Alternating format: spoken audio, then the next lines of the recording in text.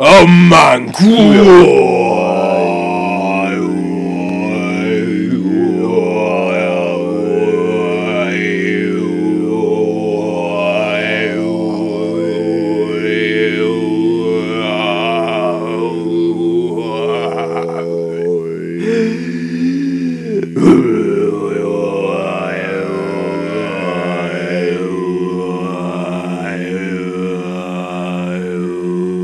A manqua.